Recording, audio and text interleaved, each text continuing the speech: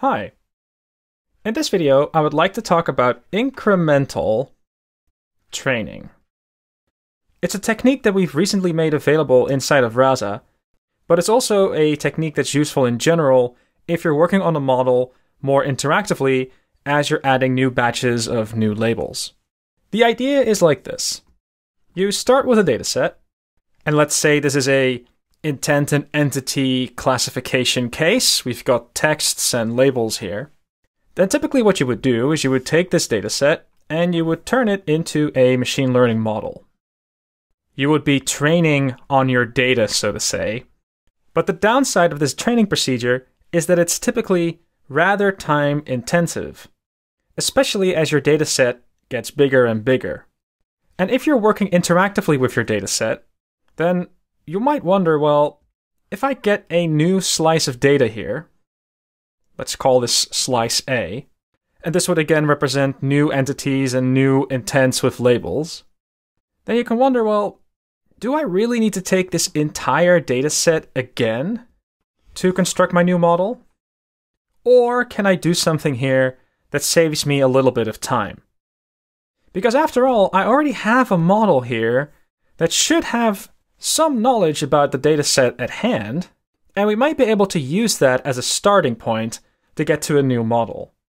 And in doing so, maybe the training time that we're applying here can be decreased.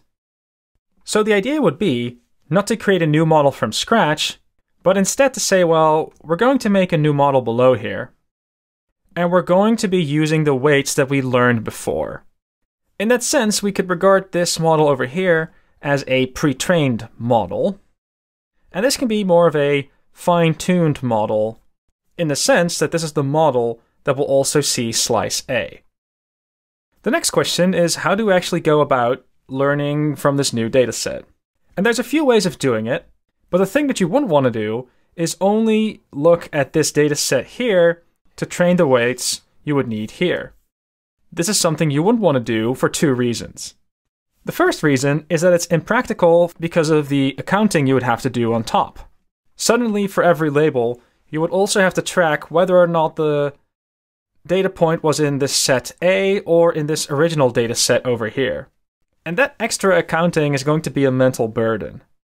Moreover, though, we are also at risk of forgetting. If we only look at this new data set A, we can still take these pre trained weights as a starting point, but we would be risking maybe forgetting all the lessons that were learned in this big data set up here. And that's something we would never want to have happen. We want to learn from this new data set A, but we don't want to forget any of the useful lessons we've learned beforehand. So that means that we can't zoom in on just this new data set. Our training procedure will do something different. Instead, what we're going to do is we're going to look at the entire set of data collected so far and then we're going to say, well, let's just use that for training. But we're only going to be using, let's say, 20% of the epochs that we used beforehand. Exact same training procedure, but we're just going to add this new dataset and train for less long. The idea here is that we should have already learned very important things in our previous model above over here, and if we only include some new labels, well, maybe there's no need to start from scratch and we can still get this hike in accuracy that we're interested in. And therefore, we might not need to use the same number of epochs. And this will save a whole lot of training time as we add new labels. And what's really nice about this is that we can totally repeat this. If we get this new slice B, again, we can have a look at the entire dataset. Again, we can use it to train a new model, but again, we can make do with less epochs. What I hope you recognize at this phase is that by checkpointing our model at different places in time, we are able to make improvements without the need to retrain on this entire dataset. You might wonder though, if I were to take this incremental training approach and compare that to training on the entire dataset, do I maybe trade off a little bit of accuracy for less training time? And that's a valid question, but we've ran some benchmarks, and it definitely seems to be a valid trade off. I will share some benchmarks at the end of this video, But before getting there, I want to talk about this one extra thing to be aware of. Because so far, we have been talking about this model and that we're incrementally updating it. And that's great, but it's not just the model weights that we have to keep in mind here. We also need to think about the features that go into the model, because those will also be perhaps changing as we add new labels. So let's talk about how that works. So let's now think about what this model is that we're actually updating. In Rasa, we typically use the DIET model, which is in essence a neural network with a lot of features and properties that we like. But to keep things simple, let's just regard it as a neural network of sorts. There are features going in, and there are some labels that we're predicting on the outside. Inside, we've got these layers that contain these weights that we will be updating. But if we're going to be updating these weights with new examples and new labels, we shouldn't just consider these weights, we should also consider what happens before. Because we start out with text, which in turn is turned into tokens, and then these tokens are used to generate sparse features as well as dense features. And if you look at the situation this way, then I hope that you can observe that we actually have some requirements for these features that are going in. Namely, we're interested in updating these weights. And that means that we can change the values that are in these layers, but we don't want to replace them altogether, and we also therefore don't want the shape of these layers to change. And if we don't want the shape to change, then for starters, the new dataset that we receive cannot add any labels, because if we do that, we would have to change the shape of the layer here.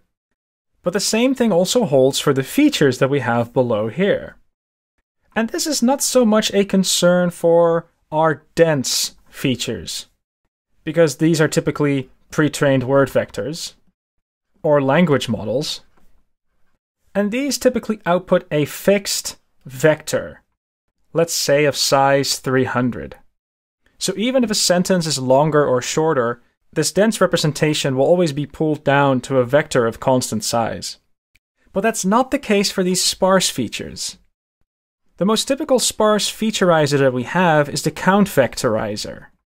And what the count vectorizer does, let's say I have the word hello, then the count vectorizer will take that word and it will map it to an index in an array.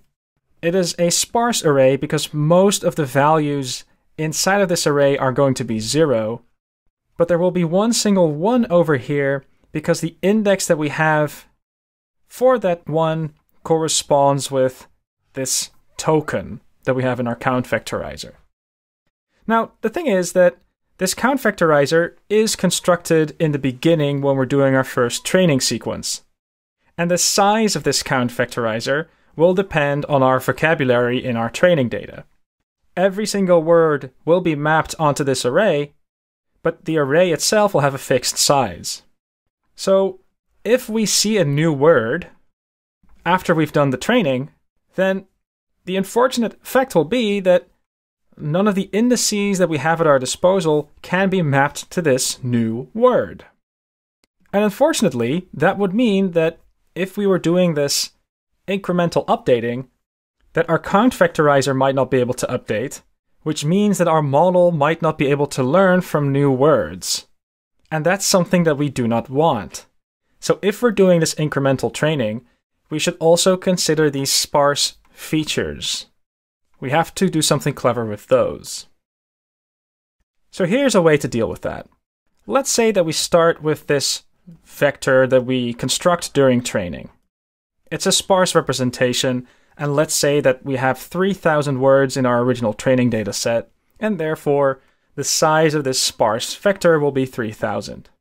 What we could do is we could say, well, let's allocate some extra space onto that sparse representation. We have this space for our original data, but we are going to introduce this wiggle room that we are going to attach. The idea is that this wiggle room, when we see our first training data will just contain zeros. We're not going to do anything specific. But then, if during incremental training we see new words, then we do have a couple of these indices available where we might be able to allocate a 1 if we see a new word. And by doing this trick, we now have a way to declare sparse featurizers while still being able to learn as we see new words appear. And note that it's the count vectorizer that's able to do this, but also the regex featurizer. For both of these, you will need to say upfront that you want to have a little bit of wiggle room for the interactive updating scenario. And by doing that, we guarantee that we don't have to change the shape of this model over here. The whole point of this interactive scenario is that we are going to limit ourselves to updating these weights because that is allowing us to save a whole bunch of training time. If we were to change all the hyperparameters to this model, then also the interactive training wouldn't work. The goal here is to save time as we're updating, not necessarily to do a giant grid search. Having said all this though, if we make sure that we handle our sparse features the right way, we do now have a procedure that might save us a whole lot of training time. And that's a welcome feature if you're interactively updating your model with new labels. I would like to conclude this video with a small benchmark that we ran on the Rasa demo bot, which you can find yourself on GitHub. What we've done is we've taken the training examples in that demo, and we've split it up into part A and part B. There's different examples for intents as well as entities in part A and part B. And what we've done is we've said, well, let's check if we run part A first and then part B, and let's compare that against what happens if we just train on the entire data set from scratch. And it turns out that if you're interested in the F1 score for intents as well as entities, that you really do get results that are somewhat similar. Or at least, that's what we saw on this particular benchmark. And you can also see that you save a little bit of time if you take this incremental approach.